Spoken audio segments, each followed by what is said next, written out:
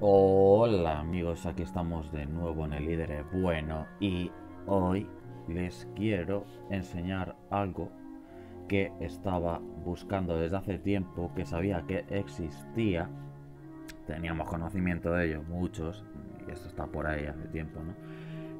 Y que me, o sea, quería mostrar las pruebas de la existencia, ¿no? Porque saber lo sabíamos, ¿no? Y muchos lo, eso, lo que digo, muchos lo sabemos, ¿no? Pero, pero quería la prueba de que existe, ¿no? Entonces, eh, bueno, os lo, os lo voy a enseñar, ¿no?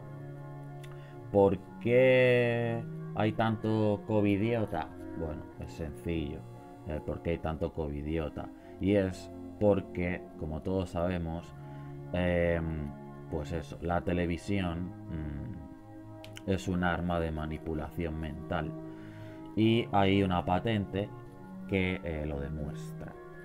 Y eh, pues aquí la tengo. Os dejaré los enlaces eh, en el vídeo. pues eso, cómo manipula el sistema nervioso. Aquí, aquí he sacado el pantallazo. obviamente, pues eso, os voy a dejar el link. Lo podéis traducir al español también, claramente en, el enlace, ¿no? Y bueno, eh, eso, ya, ya sabéis por qué hay tanto covidiota, ¿no? Y, todo esto, pues porque claro, a ver, la élite tiene armas muy poderosas. Tiene armas muy poderosas.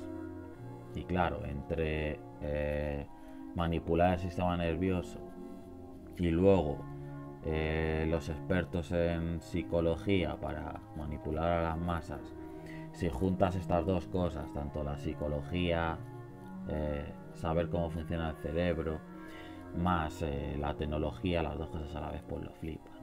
Entonces, bueno, aquí es, otro, otro enlace de lo que se estoy comentando. pues eso, supuestamente el inversor es este, es este pibe Hendrikus Gelus o como se diga. Y bueno, pues aquí está, ¿no? La patente. Así que, bueno, pues ya sabéis, cada vez que nos ponemos ante pantallas, pues estamos condicionados a ponernos en un modo activo nuestras ondas cerebrales, eh, cerebrales, perdón, activo, no, al revés, receptivo, y nos vamos a comer todo. La defensa baja la guardia baja, ¿no? Entonces, por eso es tan fácil de manipularnos también. 造痕